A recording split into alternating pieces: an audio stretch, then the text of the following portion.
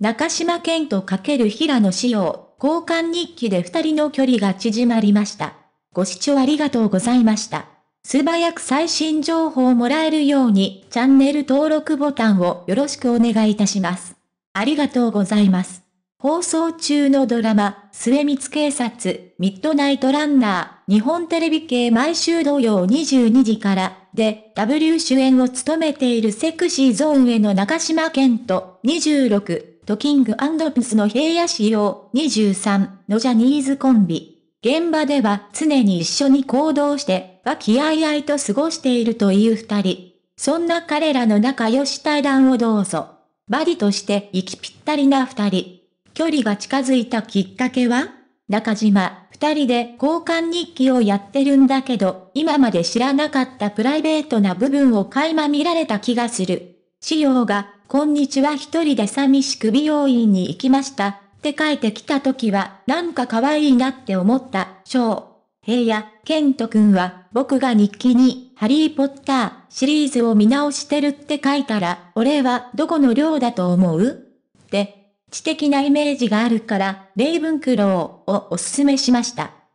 撮影中、相手の言動で一番笑ったエピソードを教えて、平野、劇中で使ったキックボードを僕が移動する時に借りていたんですね。でもある時、出番が終わって戻ってくると置いたはずの場所にないんですよ。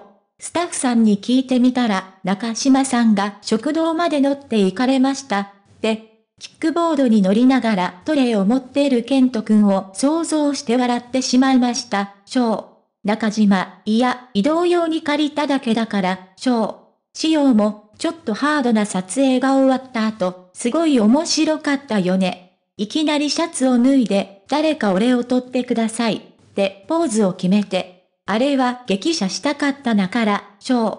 仲良しの二人だから知っているお互いのかっこいいポイントは？平野、ケント君は全く裏表がない人。テレビで見るセクシー王子の姿そのままだから、ケント君ファンの皆さんは幸せですよね。僕が保証します。中島、仕様は仕事に対してものすごく真面目な反面、力の抜きどころもわかってるんだよね。僕は真面目すぎて周りにプレッシャーを与えちゃう方だから、そういう自分にはない部分を好きになったのかもしれないですね。ただ、帰るのが早いところはちょっと嫌かな、小。平野、寂しいってことですか？中島、まあね。でもこれじゃ、僕がすごい甘えん坊みたいじゃん。女性自身2020年7月28日8月4日合併後を掲載。平野志陽さんプロフィール1997年1月29日生まれ、愛知県出身。圧倒的なセンスのダンススキルや歌声を持つ一方、チャーミングな発言とのギャップで多くのファンを魅了する。ご視聴ありがとうございました。